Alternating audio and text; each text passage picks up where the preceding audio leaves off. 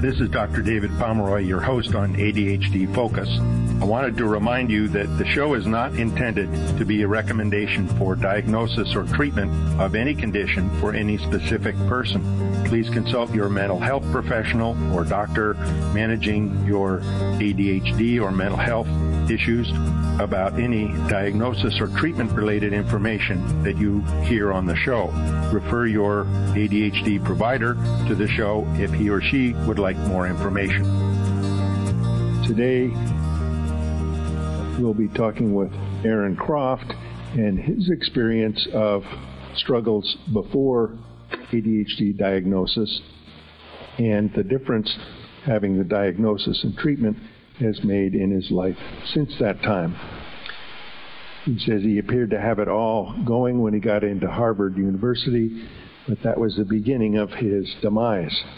He then struggled nonstop for 15 years until he was broke, divorced, earning minimum wage, and failing out of his first seven jobs. And he went on to get a master's degree in coaching psychology and then a diagnosis of inattentive ADHD, and life turned around. He built a successful career consulting to companies like Marriott, Johnson Johnson, McDonald's, United Healthcare as a change management consultant. He also got remarried. Most importantly, discovered how to get stuff done with a neurodivergent brain. Now he's on the mission to raise awareness about inattentive ADHD, how it goes under the radar, how to rebuild your life post diagnosis. His website is hiddenadd.com. Aron, it's a privilege to have you on the show today. It's a privilege to be on the show with you, Doc. So, what are some details on life uh, before ADHD, both you know, growing up when you didn't have to worry about running a business and all those things, and then what uh, what happened after you got to Harvard? Uh, yeah, those are uh, those are some some painful and embarrassing memories to relive. But you know, growing up, I was I was a naturally good test taker, and you know, so some of the stuff at school came kind of easily to me. Uh, and you know, what that masked was the fact that everything was done at the last minute. Uh, I never read a book cover to cover in middle school and high school. And, you know, the toll that it took on me to only be able to do work when it was the last minute and panic set in was, uh, while it was effective at getting me good grades, it was emotionally, physically, and mentally just draining. Yeah, I see so many people in middle school, high school particularly, that most of what they do is homework. And admittedly, they may start homework at 9 o'clock at night, but they're staying up till 1 o'clock. Why it's girls who tend to have the determination to finish that homework, they're up till 1 o'clock. Boys seem to give up about 7.30. Um, but then girls aren't getting any sleep. Things get worse. They can't think as well and uh, everything is last minute, barely keeping ahead of the uh, the train that's coming down behind you.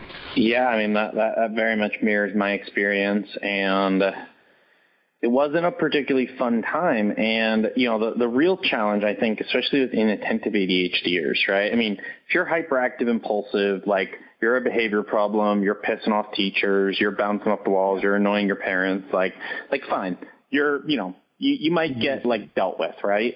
Mm-hmm. Uh, but, you know, when you have the inattentive presentation, like it doesn't it doesn't make sense to neurotypicals and frankly i have a ton of empathy for neurotypicals because i understand why it doesn't make sense like but you know to my mom and to other people it was just like aron's lazy and thinks that he doesn't have to do the work and, you know, I'm like, I still work on in therapy kind of, you know, to this day, like working on rewriting some of those narratives that, you know, got ingrained at a time when my brain was really impressionable.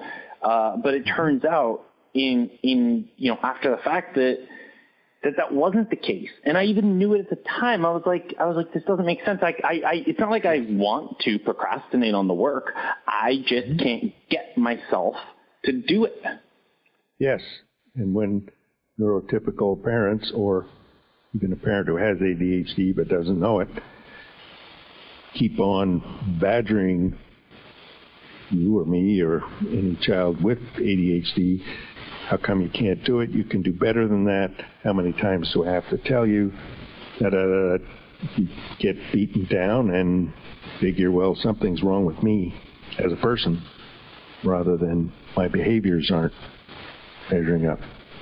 Um, and yeah, I mean, you hit the nail on the head there, Doc. Like that's that's actually one of the primary things that you know I found for me was the big shift, and it's a shift that I really focus on with a lot of my coaching and training clients, which is this amazing shift from there's something wrong with me to there's just something wrong with my strategy.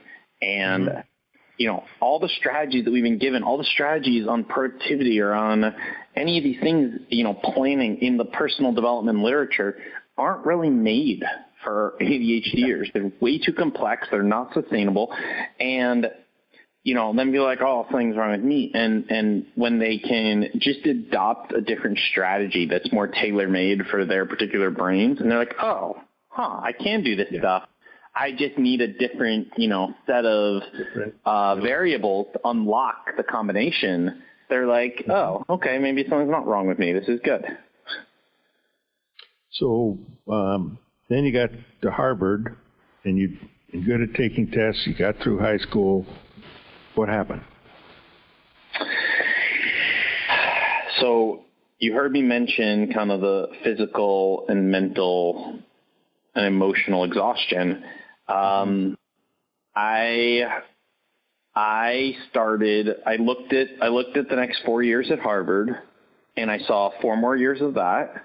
And then all the people at Harvard were talking about going into you know McKinsey or investment banking, and I, you know, heard about those, and it was 80-hour weeks, and I was like, wait a minute, I'm about to sign myself up for a life of misery. Like, I mean, yeah, I produced results in high school, but at what cost? I mean, I was really unhappy, and so, and so I said, okay, great, I'm done. I'm done with this, uh, with what I call the panic strategy, which is yeah. if if there's a panic because there's a deadline coming up, uh, and the other strategy is is really that if the other people decide my my outcomes, right? Because there always is another person involved in the panic strategy, like the teacher and or the parent or the you know relationship partner. And I said, you know what, I'm just I'm done with this. And so I did what uh, most people do, especially at you know that kind of age. And I said I just swung to the 180 degree opposite, uh, which was I don't give a crap. I'm not going to make myself miserable. Um, and that was when I really got myself into trouble, Doc, because um, it turns out that not making myself miserable in terms of doing work uh, was effective in the short term but yeah. it still made me miserable overall because I was still stressed about it. I was still I was still doing the self self self I can't talk self shaming cycle of hmm. procrastination, and you know so so now I'm really in a bind. Right? I tried the panic and other people strategy in high school, middle school, and it was effective but miserable. Then I tried the I'm not going to put myself through that and make myself miserable, so therefore I'll be happy, but that also made me miserable. And so I was really uh, at a really kind of terrible crossroads where neither approach was working. And then, so you dropped out of Harvard and looked at working or starting businesses, or were encouraged to drop out, whichever? Uh, so I dropped out uh, twice first time to run away uh, and try to retire to an island off the coast of New Zealand, but that's a little bit of a, a lengthy tangent. Um, and then and then the or sorry, actually no, that was the second time. The first time was just because yeah, it turns out if you do that and then you're about to fail out of classes, I realized I could withdraw rather than fail the classes. So that was the first time. And, uh, and so I, I took a year off, but it was a mandatory year off. And then the second time was more of a voluntary year off. But nonetheless, uh, in total, I took two years off and I ended up graduating in the course of three years because I had so many AP credits from high school. Mm-hmm. So mm-hmm. effectively, I was on like, you know, if you take two years off, you're on like the six year plan to graduate. I mean, yeah. that's, that's pretty terrible. And, um, and yeah, so it was, you know, I stuck, I stuck pretty stubbornly with the I'm not going to make myself miserable strategy. Uh, so that was, so I bar- I mean, I barely graduated, but part of it was just that, uh, my family was very much pushing me to graduate, understandably. Mm-hmm. And, Harvard was very much pushing me to graduate because one of the variables that uh, top universities get ranked on in the U.S. News and World Report ranking, which is so important to them, is the percentage of people who actually graduate that start. And so I, you know, I, I, I had a lot of people kind of, kind of holding my hand to make sure that I uh, finished on my commitment. Mm-hmm. So then, what was it that led to you getting? Uh, thinking I've got to figure out if this is ADD or I just have to figure out what's going on. What what triggered that? oh goodness. Yeah. Um. Not. It's not a very pleasant story, but uh. So. I, I pretty much I, I stuck. I told you I stuck stubbornly, and you know, mm-hmm. stubbornness is definitely one of my traits. I stuck pretty stubbornly. I mean, I'm talking like for 10 to 14 years on the I'm not going to make myself miserable by doing work I don't want to do approach. And so that led to failing out of my first seven jobs and businesses. Um, and then, you know, possibly not surprisingly to some of your listeners, it, it led to the dissolution of my first marriage. um, and so, and so pretty much here I am. So I'm I'm 32 years old, and now I'm broke, divorced, and earning minimum wage. Uh, mm. And I, uh, you know, I, I, I share the story just because I think it's important for people to understand. So, you know, I've moved I've moved out and I'm moving into a shared house with four acquaintances. And uh, you know, I'm upstairs and I'm unpacking my post-divorce suitcase uh, in the closet, and then and then Billy uh, comes and flops down on my king size bed, and Billy is this really you know sweet, very skinny, wiry, 26 year old tech support analyst, originally from Vietnam, super nice guy. Um, and you know, he doesn't seem at all kind of awkward about flopping down on my bed. And at that point, it hit me that he hadn't flopped down on my king size bed. He'd actually flopped down on his half of our king size bed because that was all that I could afford at that point of my life. Um, and yeah. And so that's when, hey, this this is really wrong. Not just something's not right, but this doesn't fit the picture of who I know myself to be and what the world sees. Yeah, I mean, I would love, I would love that to have been the story. Um, but, uh, it's, uh, so, so that was like that was right around the time my 33rd birthday. So effectively, I'm 33 and I'm I'm sharing a bed with another dude because uh, that's all I can afford, despite Harvard degree, all this stuff, and you know, earning next to nothing. Mm-hmm.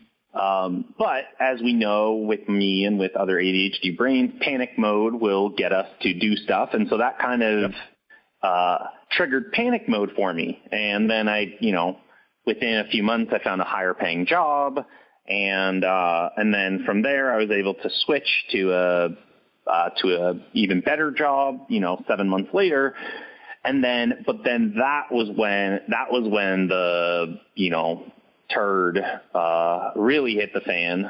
Mm-hmm. Although there's been there's been there's been a lot of those, so I got some messy fans in my life. But that was when the turd really hit the fan because, you know, I was three months in, and I kind of had this false confidence, right? Which was I finally I finally figured life out, but I hadn't really addressed the core of what was causing all these problems.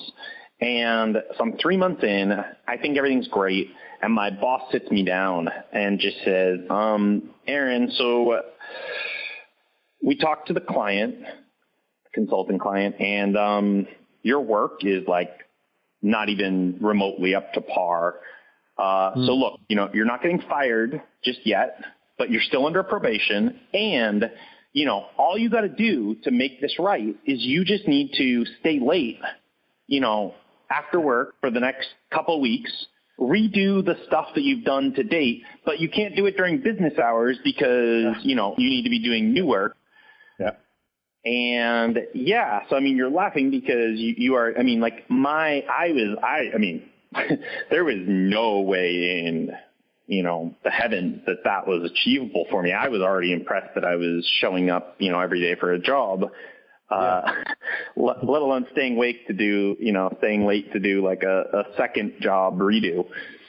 And, um, and so and so I kind of saw my entire life rebuild, you know, post divorce, I'm trying to date, um, you know, and, and being unemployed. I didn't know if I could really talk myself into any, you know, I didn't, I mean, I already had a resume that was like Swiss cheese. I didn't think I could sell myself into any more jobs if this one fell through. And, uh, so I, in a panic, called a friend who had mentioned socially, and this is a terrible story and no one should try this at home, but I'm just telling it out of transparency and vulnerability. I'd called a friend who had mentioned um, his ADHD and that he takes Adderall. He had mentioned out drinking because one night we were out drinking. Uh, I mentioned I was single, you know, we're at bars, and he was like, "Oh yeah, I had an Adderall earlier, so I'm gonna be up late and like partying." Uh, and I called him up and I was like, hey dude, I know you've mentioned Adderall. I've never had it before in my life, but I'm about to get fired if I can't stay late and get this work done. Um, and I know you said it helps you stay awake. Uh, so like, I know you're not supposed to, but like, can I, can I borrow some? you know, I, that is such a common experience, um, in terms of a friend said, why don't you try it? Or I asked about trying it. One doctor here in, in this area, um, who was a pediatrician and specialized in ADHD, said uh, on the second or third visit, he asked the parent, so how was it when you took one? because he figured it probably did either when they saw the biggest the change in their child, or my kid's not going to take one and I don't know what it'll do. And the answer was, man, I got a lot done that day. because about half the time, one parent has it.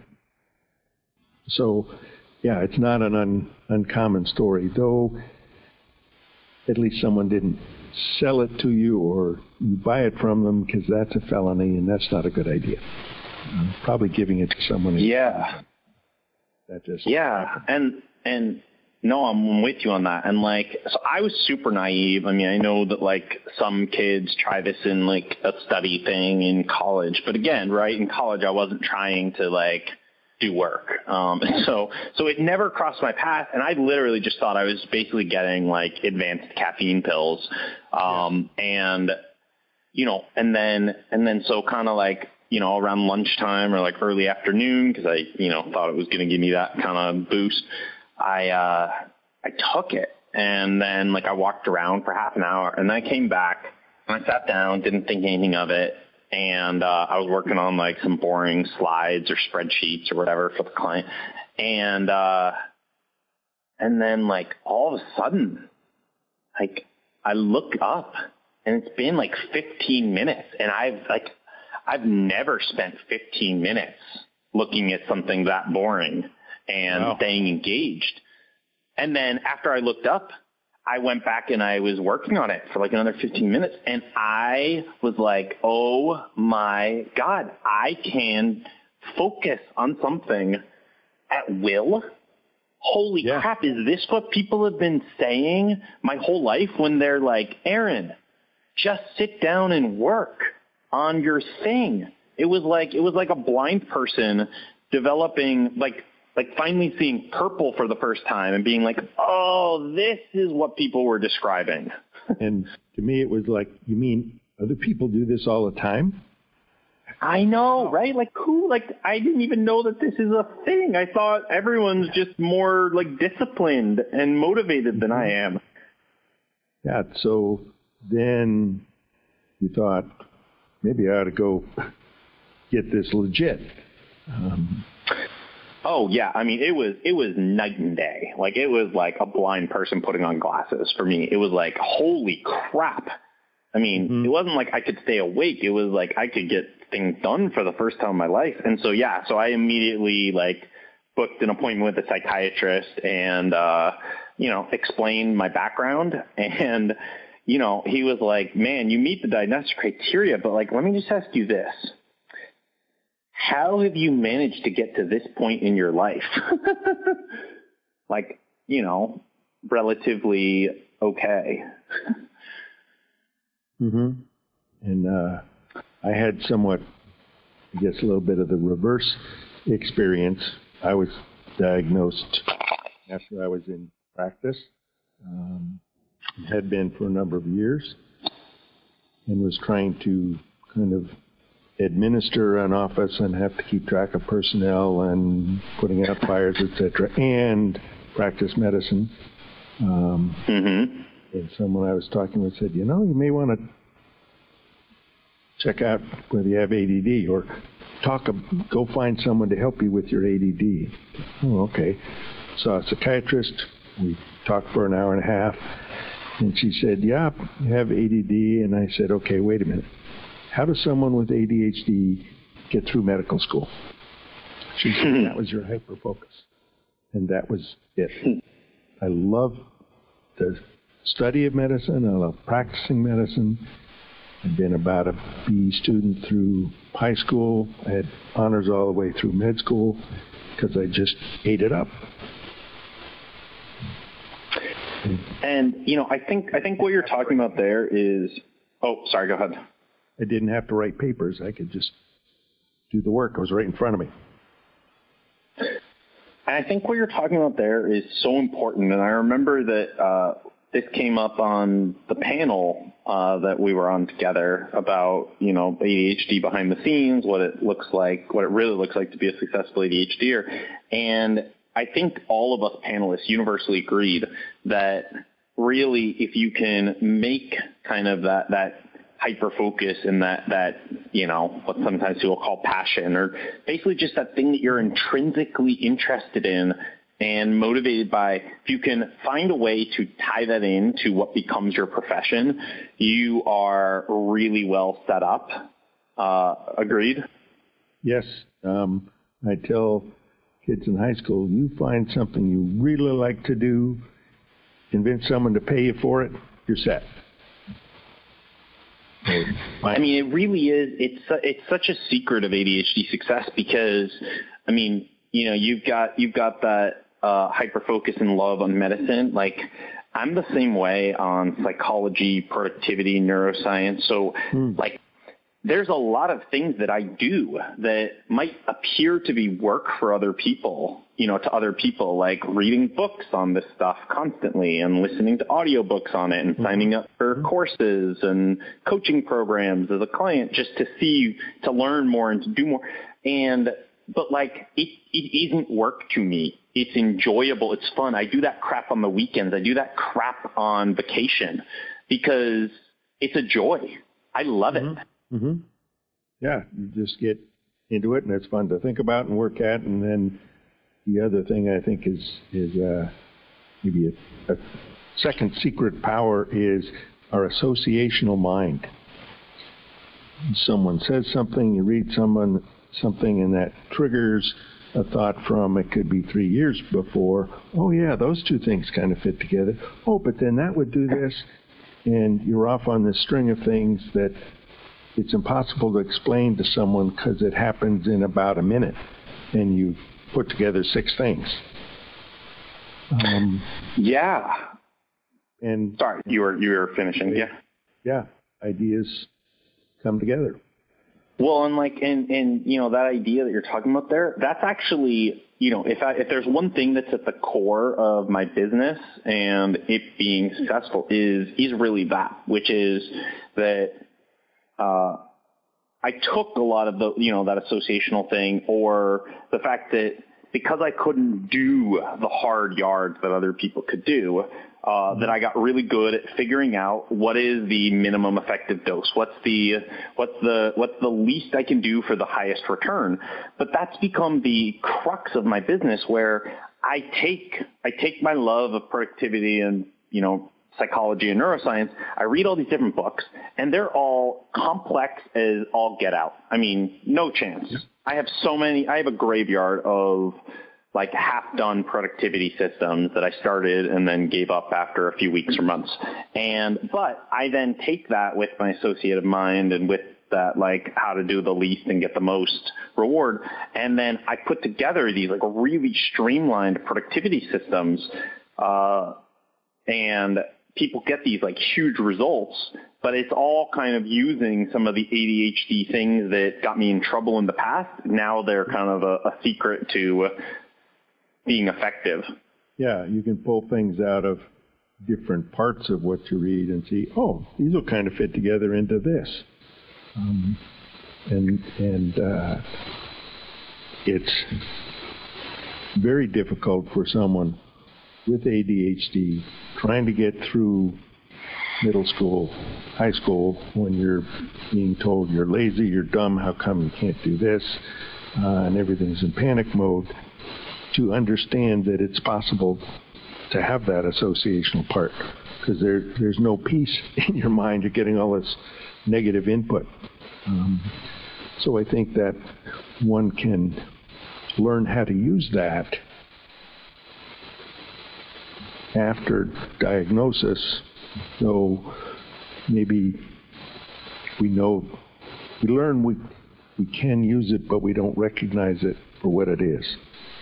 Um, and because I think it is something that just just happens. And I, I don't know. I'm sure that I can't explain. Couldn't explain why it happened um, all along sure. the way, whether it's medicine or anything else I was doing. Um, but it's definitely a, a trait that's there with ADHD. So, what um, I'm assuming the first part of your treatment was okay, I'll take medication because I know that can help me focus. what did medication not address that you needed to come up with other ways, other strategies to use? Yeah, it's, it's a really good question. Um, and so I'm going to share a little bit kind of embarrassingly and a bit vulnerably, um, which is that I was, you know, so blown away by medication at the beginning. And, you know, I went from being this, uh, underperformer to like an average performer and even actually to like at times an above average performer. And I was like, this is great. And then I was able to show up to my job every day and I passed like the one year anniversary at my job. And, you know, I mean, like that's something like my mom would like celebrate like it was, you know, I won the World Cup or something. I mean, it was like, holy crap, Aron's been at the company longer than a year at a job. And, um, I, I kind of was like, this is amazing.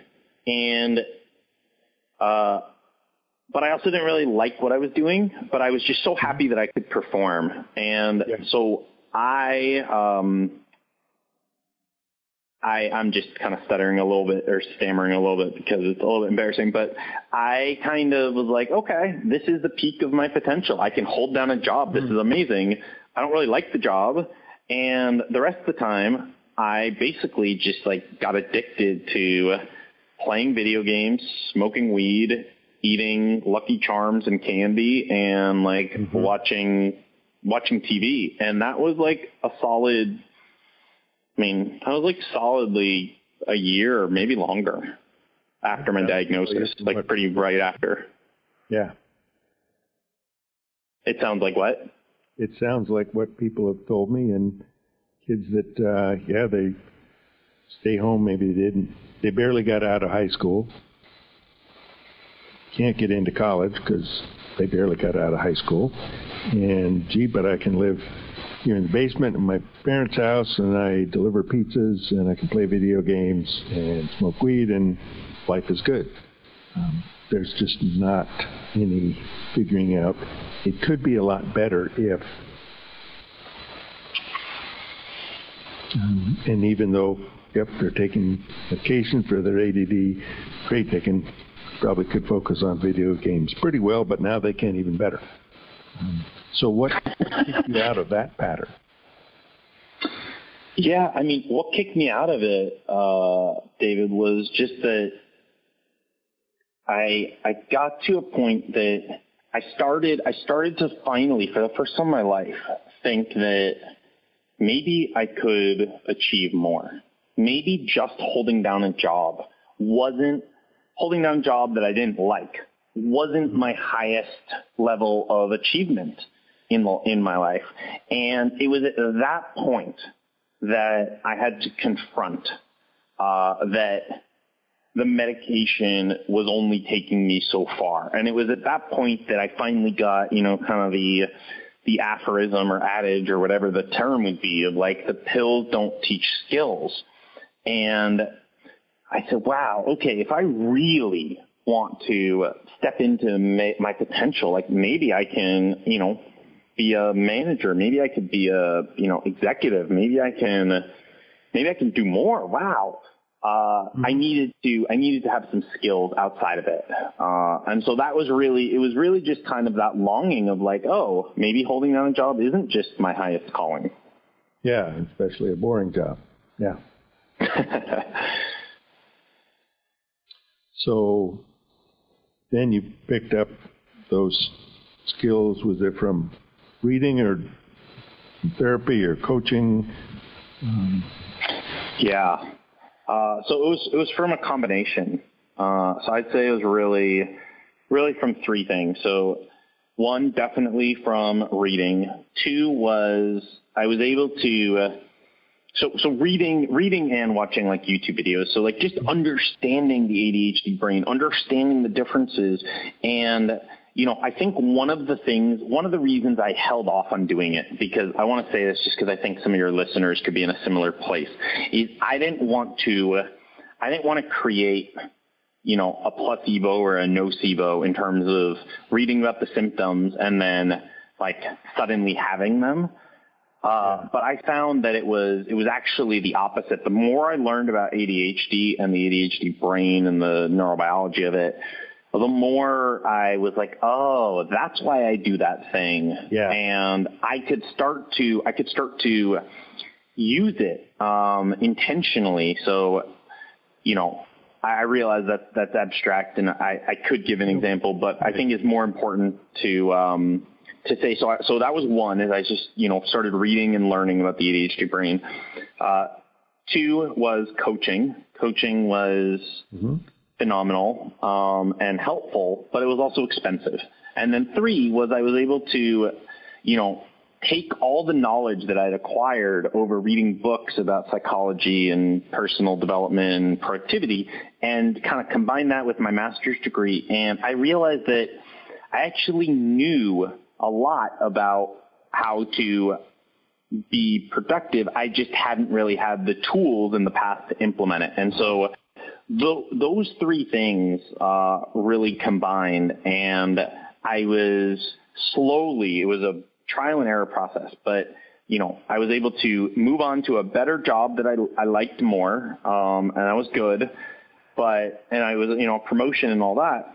But then at one point in there, after about a year, uh, I realized that my true passion right? And it's kind of like these uncovered over time because I didn't think it was possible. So like my psyche just kind of put it away. But my true passion has always been personal development, helping other people, coaching, training, like, and I, I kind of connected with that and I was like, hmm, this thing that I'm doing for an $8 billion Fortune 500 company isn't that.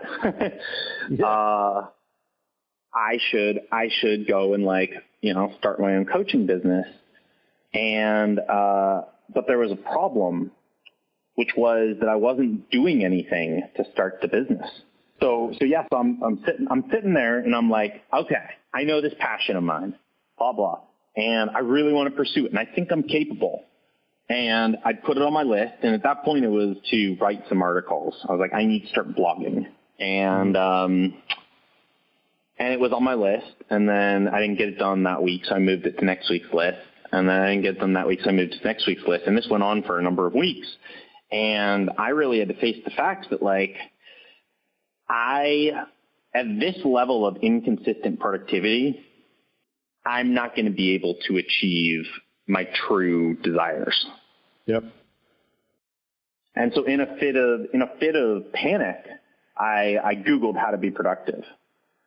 Uh, and you know all these things came up, right? And I'm I'm going through it, kind of like swiping, you know, like like throwing papers on the floor, you know, digital papers, if you can just picture yep. it. Like, oh, yep, like tried that, read that, did that, didn't work, uh, don't like that, whatever.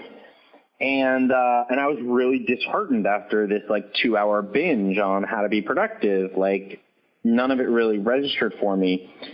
And then I had this epiphany, uh, in kind of this moment of despair. And the epiphany was, yes, Aron, you have tried all of these things.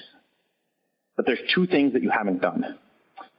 You haven't done them with an ADHD lens with your newfound knowledge about ADHD. And mm-hmm. you've never done them all at exactly the same time. I've always done them like in, in, in series rather than in parallel. Uh, and that just that opened everything up for me. Uh, so one of the things that I'm you know in the process of teaching people now is how to make productivity pain free, easy, and automatic. And it really came down to this system that I developed to have me go from you know unable to take any action to uh, I published 21 articles in 21 days. You know, when I started my YouTube channel, I'd filmed over 50 videos. I'd read over 75 books. I was taking on more responsibility at work. I was doing all this stuff while working full time, uh, and actually doing better at my job. And it was just this wow. massive kind of night and day shift in terms of what I was able to achieve. Hmm. Yeah, I I really like the uh, that epiphany as far as looking at, gee, I haven't looked at these things from what I know about ADHD, and so how can I kind of apply that to all these different productivity strategies and do the strategies all at the same time? Instead of well I tried this, I tried this, I tried uh, getting better sleep, that didn't work. Yeah, because you're eating junk and not exercising. And then I tried exercising and I got injured because I was trying to do too much at once because that's you jump in the middle and go everywhere at once. Um, and each of those little things didn't work. Instead of thinking, you know, I'll take a little step. I'll go for a 20 minute walk every day and I'll set some reminders so I go to bed and social distance from my phone, keep it six feet or, or more away from the side of the bed and once we start doing some things together, then it gets easier. And gee, what can I add to it? So it's the little, little an accumulation of habits that oh, this is working pretty well now. And it's I think so well said. For me, it's it was hard to know how well that would work until I did it little by little and then found out, oh, I've made a lot of progress in this past year. And I'm doing all these things that at first I thought, how can you do all that? And it's little by little, one step at a time. Yeah, and I think I think what you're saying is. Oh, sorry. Go ahead. I, I just thought of a, a meme I'd seen of two ladders kind of reaching up into the, the sky. And one of them had very small steps, and that person was about three quarters up the ladder. The other one had such huge steps that that person couldn't even reach the first step. Success is building on small steps. You know, I think it's I think it's so important what you're saying there, and you know the uh, that's I lost my train of thought a little bit, but um, you know I would say I would say that uh, the thing that really kind of hit on for me and I've seen with so many ADHDers, and you you know this really goes to the point that you were making, is that the the the lack of consistent productivity is in many ways at the core of so many of their challenges, right? Because mm-hmm. when we can't, when we, when we can't consistently be productive, if we don't feel that we're in control of our productivity and reliably can follow through, well, we're not going to take on a bigger job role because we don't want to let ourselves down. We're not going to take on that business or that goal that we really want to pursue because we don't want to let our partner or our family down. Uh, mm-hmm. and you know, we have that like real dream of that thing, that passion, that, that hobby, whatever that we really want to pursue.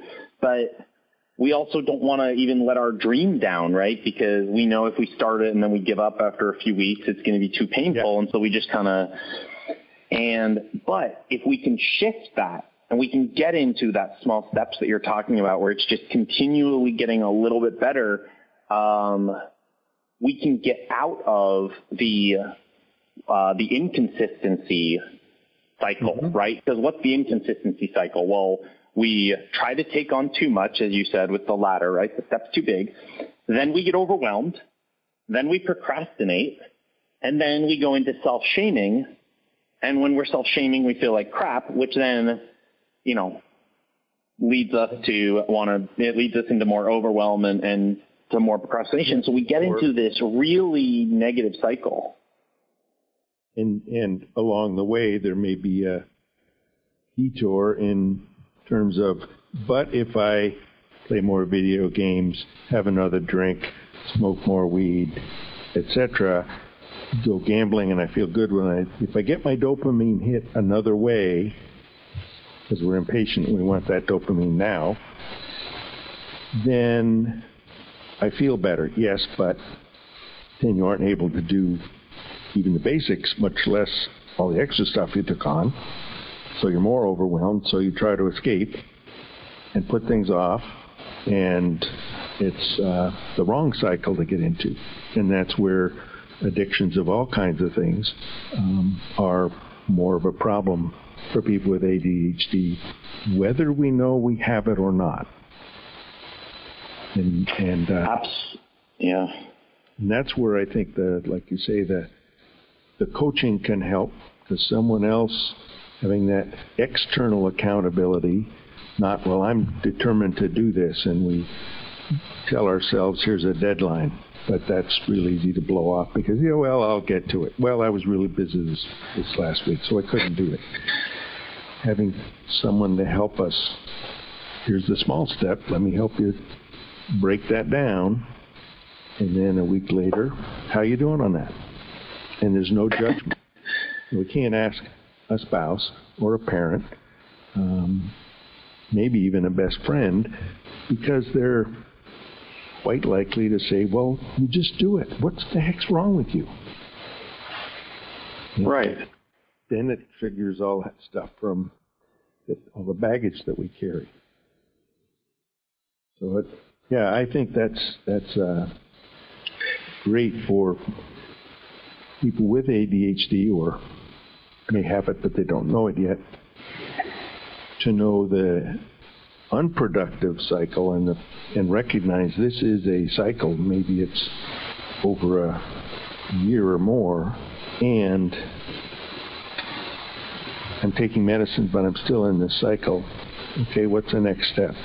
Um, so this is, uh, I think, great, great material for. Uh, my listeners, and I've certainly uh, enjoyed our conversation, which at this point we should bring to a close, but I'm sure there'll be other times we can talk more. Uh, my guest has been Aron Croft, a change management consultant. He had done that for many large companies, and now he's doing it one by one for those of us with ADHD, and also making it public on his website, hiddenadhd.com, as well as being on webinars and podcasts like this one. Aron, it's been a wonderful pleasure to talk with you. Uh, the pleasure's been all mine. It's been an honor, privilege, and I love the work that you're doing. And I just, yeah, thank you so much for the opportunity, and thanks to your listeners for taking time out of their busy days to improve themselves. Great. Thank you so much.